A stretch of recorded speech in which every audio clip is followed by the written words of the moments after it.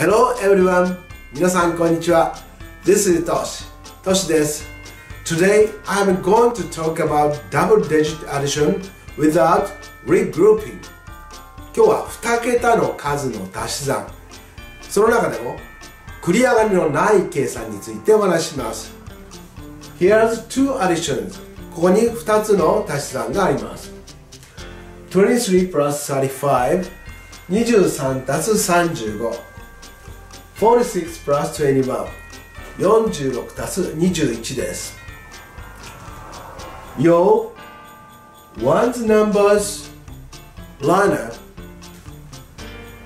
and your ten's numbers line up too 1の位が揃っていて10の位も揃っていますよね They are lined up correctly この2つの計算はそれぞれプライドリが正しくされています。We always start with the ones place. 私たちは必ず1の位の計算から始めます。23 plus 35 Here's the ones place. えここが1の位ですよね。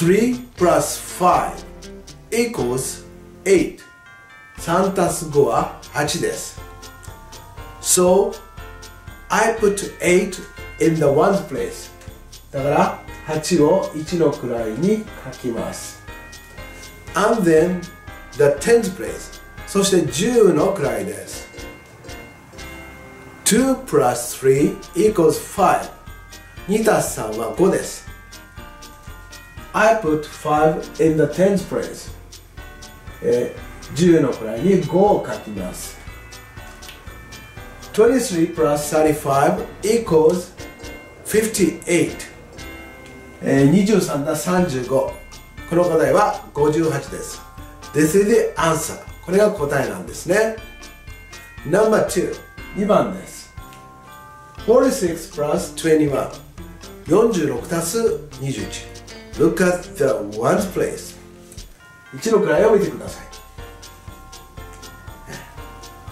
We always have to start with the one place 私たち常に1の位の計算から始めなくてはいけません6 plus 1 equals 7 6たす1は7です So I put 7 in the one place だから7を1の位に書きます 10th place 10の位です4 plus 2 equals 6 4たす2は6です So I put 6 in the 10th place ですから10の位に6を書きます46 plus 21 equals 67 It's a result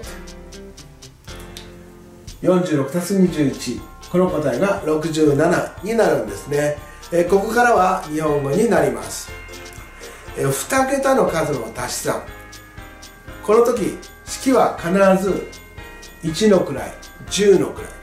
このように揃えて数字を書きます。そして必ず1の位から1の位から計算し次に10の位の計算をすると。このように計算していきます。